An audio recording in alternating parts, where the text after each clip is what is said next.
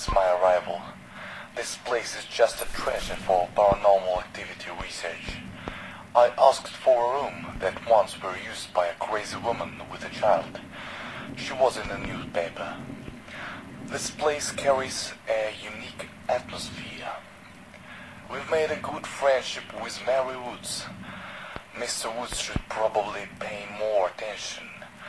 I brought my telescope with me and we often observe stars in the night with Mary.